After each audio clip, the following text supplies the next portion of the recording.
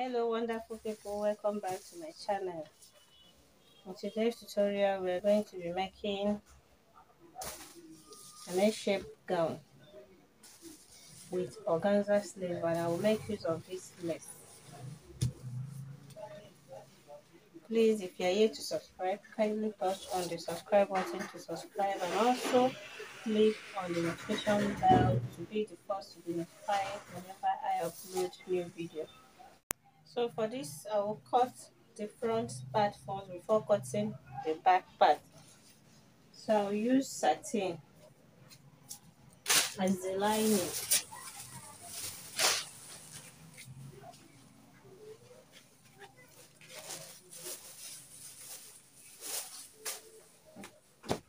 So I'll use this satin as the lining and organza for the sleeve.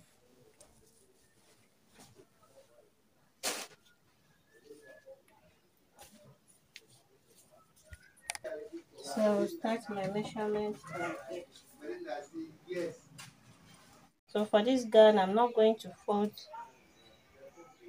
the hemline. So here is 42 inches. So that means my measurement so that means my measurement will start from here.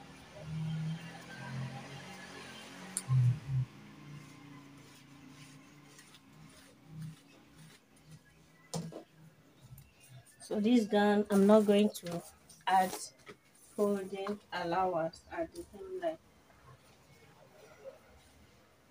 I mark out shoulder to bust measurement 12 inches, shoulder to half length measurement 16 inches, from half length to hip line measurement 9 inches. I'll work this out.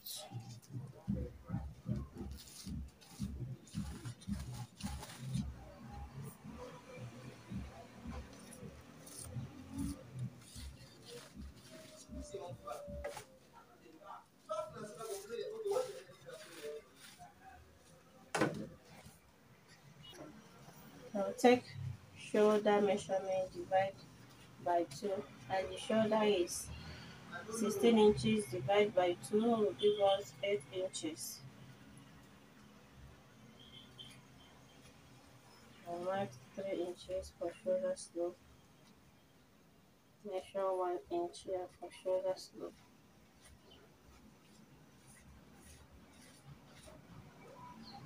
So from this shoulder slope, I will take armhole measurement 18 inches divided by 2 will give us 9 inches.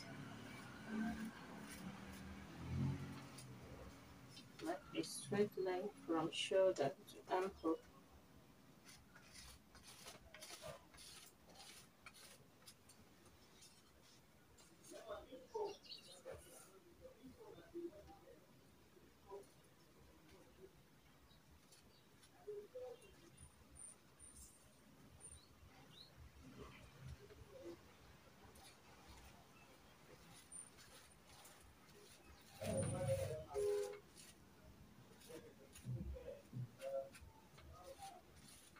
come out and hold out.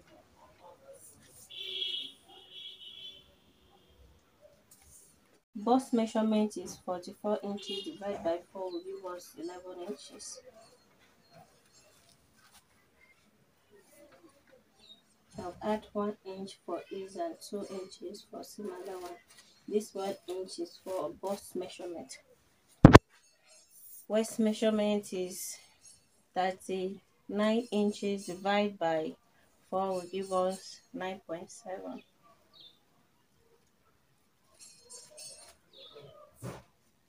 For this waist measurement, I will add one and a half inches for ease and 2 inches for seam allowance. Hip measurement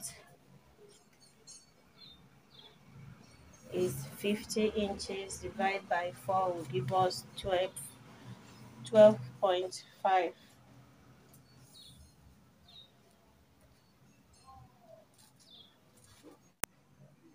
at this hip measurement i'll add two inches for ease and two inches again for seam allowance.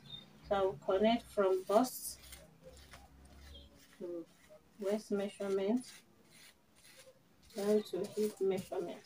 So i'll mark this to hemline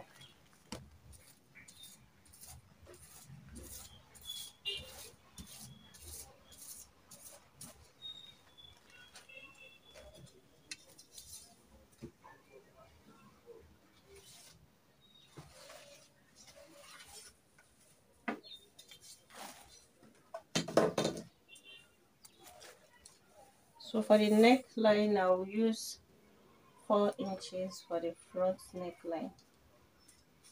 So I'll still maintain these 3 inches for the width. So this is for neckline. I'll go ahead and cut this out.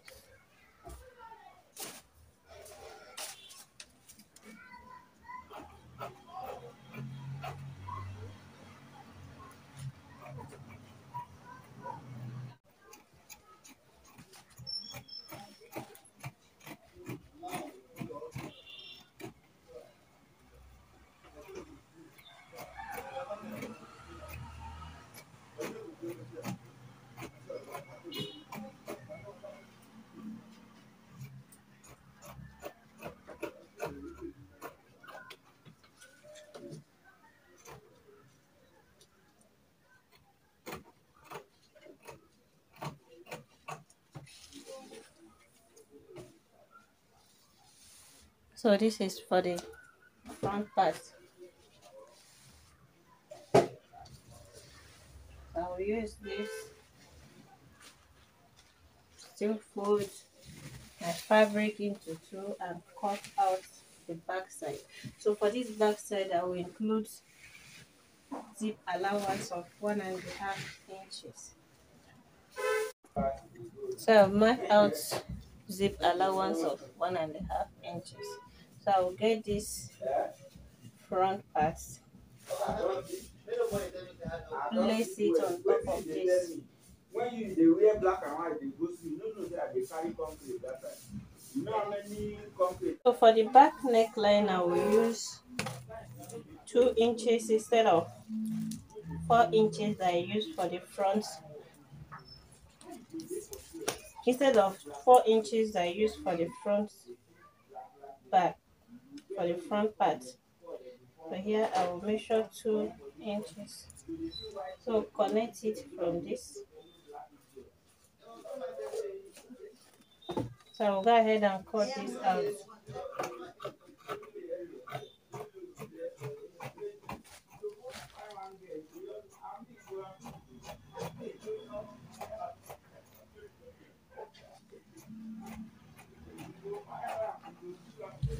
Cut out neckline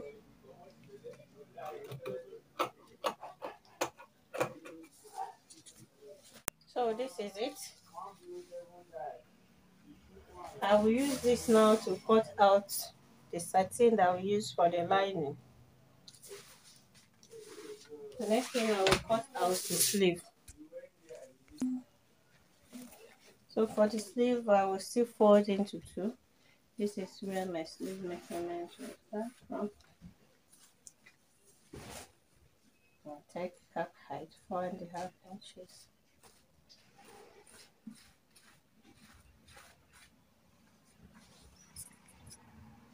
I'll take sleeve length 17 inches. I'll add one inch for folding allowance, making it 18 inches.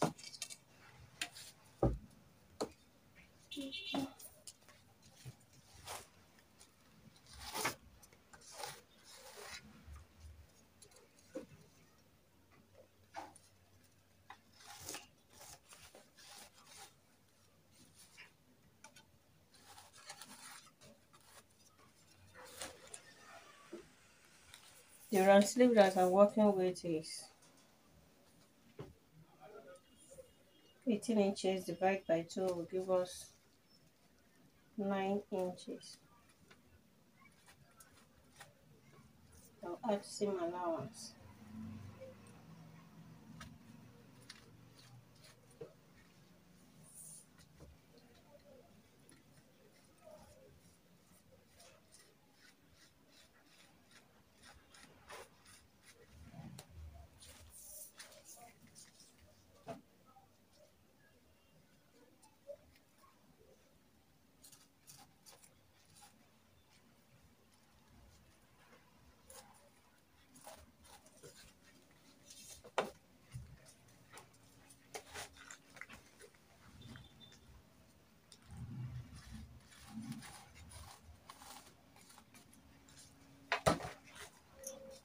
Go ahead and cut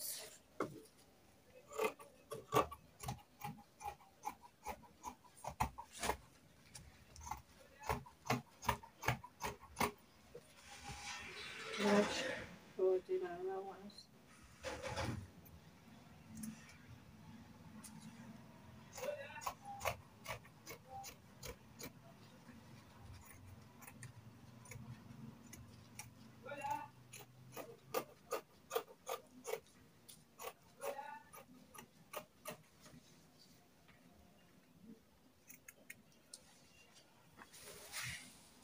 So this is for one sleeve. I will use this now to cut out the second sleeve.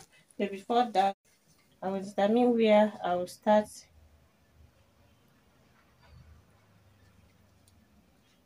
attaching the organza. I think 12 inches is okay.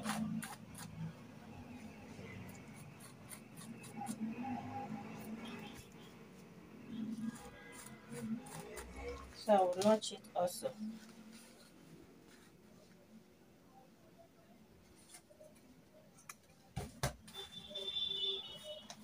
Then use this to cut out the second sleeve. Okay, I finished turning the lace with satin. And for the front part, I didn't turn the neckline. I only turned the back neckline with satin.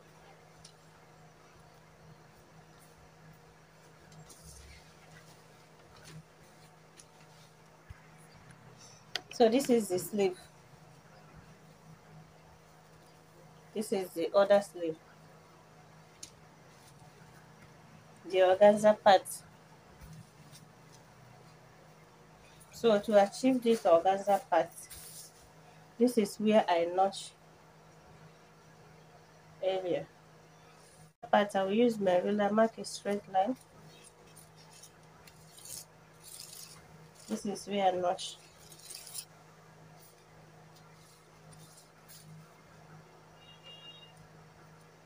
It will be into five. I'll mark another one, the second line. This is the third line. The fourth line and the fifth line. So for the organza, I cut out four inches. When you fold it into two, it will give two inches. So that is what I have here.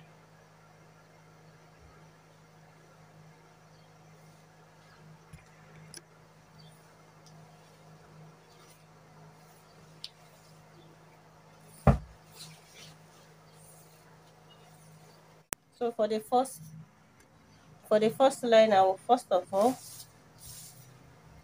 stitch it like this. It will be a kissing plate. So after stitching it, I will turn it over like this and stop stitch on top before the second line. The second line, I will place the organza like this.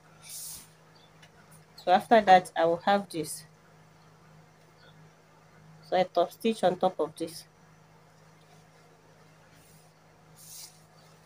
So for the front neckline,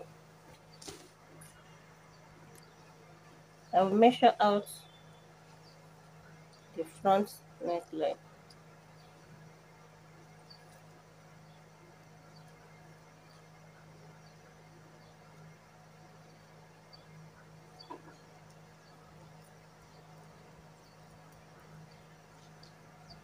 This is 12 inches. So this 12 inches, I will divide it by 6.28. 12 inches divided by 6.28 will give us 1.91. So first I will fold this satin into two. Fold it again, making it into four. So starting from this edge, I will measure out 1.9.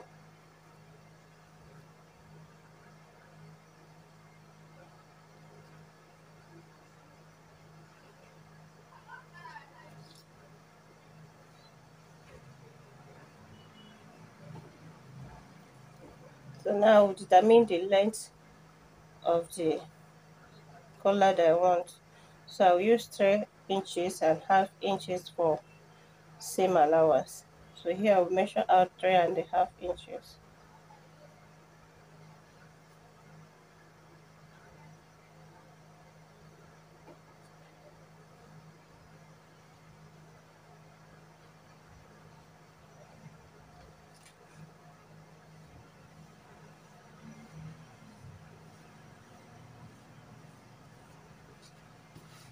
I'll cut this out.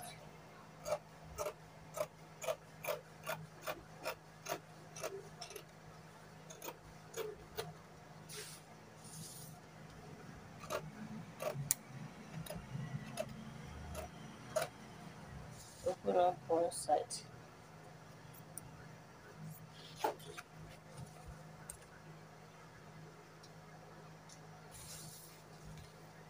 So this is what I'll have. So I'll use this now to cut the lining. So I've cut out the lining. So I'll go ahead and line this. This is it.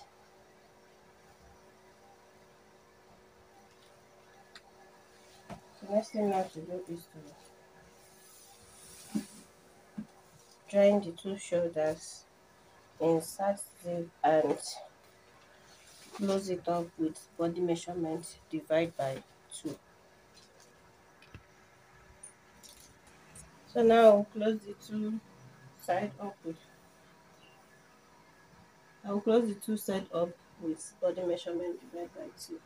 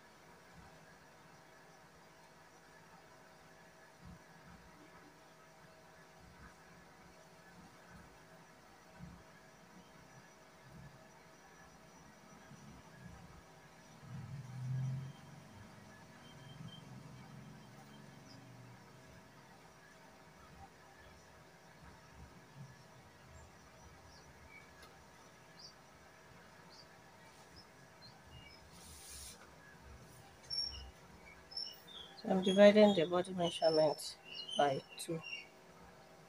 That's bust divided by 2, waist divided by 2, and hip divided by 2. Also add is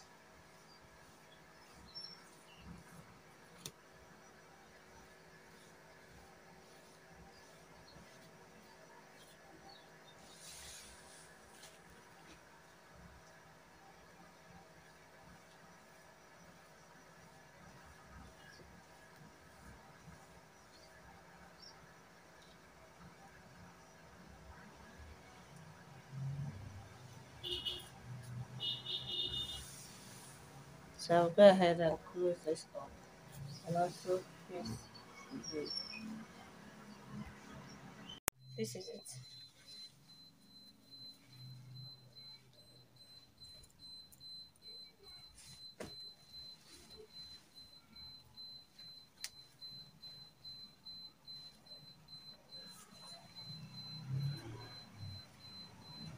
So when you're fixing this collar, you fix it place the collar on the wrong side. After that you turn it over and top stitch.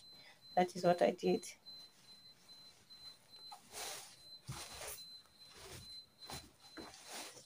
That's all